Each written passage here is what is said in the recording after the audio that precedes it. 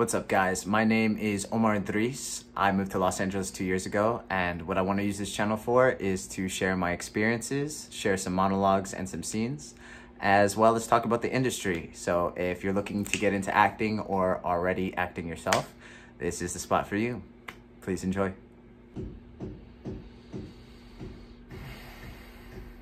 You know, they say a lot of things. They say, make things for you and other people will resonate with that. See, what a load of shit, because all I've done is make things that I like, and where has that gotten me? Huh?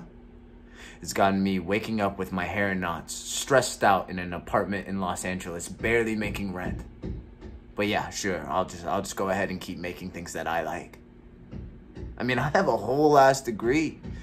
I made my family proud at some point, and now I think, now I think they fucking hate me because I left them to go play pretend. And you know, you know the crazy thing, the crazy part about all this, is I left home to go move towards something, but now it feels like I'm just running away, like I'm kidding myself and all the small bits of advice and false hopes. Oh, I'm sure you're doing just fine. We're so proud of you. What does that mean? It doesn't mean anything to me because when's the last time you free fall through life? When's the last time you woke up without knowing what your entire week was gonna look like? Putting your personality on the line, keeping yourself an open wound, just hoping for one day that somebody's gonna notice you and realize your talent. It doesn't it doesn't get any easier. I don't care what anybody says, but and I'm I'm not saying any of this to to gain pity. I'm not saying this because I'm gonna give up. No, no, because I'd rather die than go home right now.